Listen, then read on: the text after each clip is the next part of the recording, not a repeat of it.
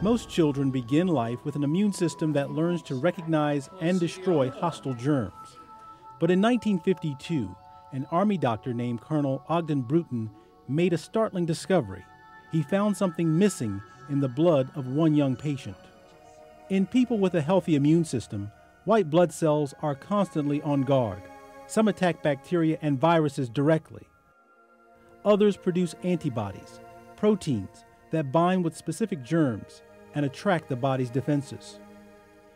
Colonel Bruton's patient could not make antibodies, and this left him vulnerable to even the most common germs. It was the first known case of primary immunodeficiency. Primary immune deficiency is an immune defect that a person is born with.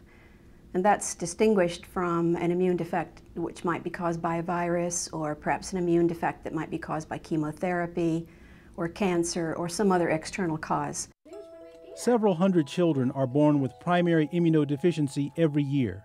Among them, one year old twins Tyler and Connor Love. When they were two months old, tests showed they were barely producing any antibodies the numbers were so low that they were at risk for not only upper respiratory infections, but other infections that um, could have been real bad, um, that could have actually have killed them. One way we can help those patients is by taking the antibodies that normal people have made, for example, in response to the vaccines that they got, and purify those antibodies and then give them to the patient who can't make antibodies. The process begins when healthy donors provide plasma, the part of the blood that contains antibody rich immunoglobulin. A procedure known as plasmapheresis is used to collect the plasma while returning the other blood cells to the donor. The plasma then undergoes extremely sensitive testing to check for viruses and other infectious agents. Every single product that comes out of blood or plasma is very highly supervised not only in the collection procedures but also in the subsequent manufacturing procedures. Plasma that tests germ-free is frozen and shipped to a facility for processing under highly sterile conditions. As the individual plasma units are pooled together, robotic machinery helps minimize contact with human hands. The plasma undergoes multiple steps to pull out unwanted proteins and inactivate any viruses that may have missed detection.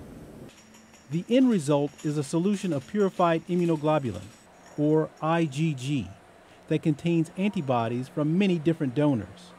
It can be given intravenously once every three or four weeks, or patients can use small needles and a pump to infuse at home once a week.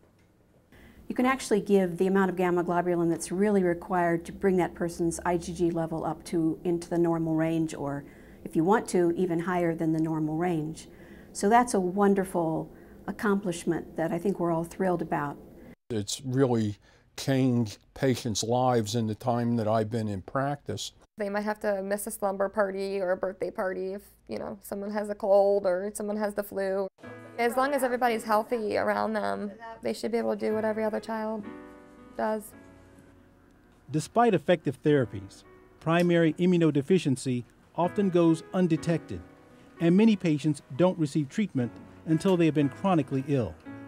The ultimate goal is to have all babies with serious immune defects begin treatment before they get their first infection.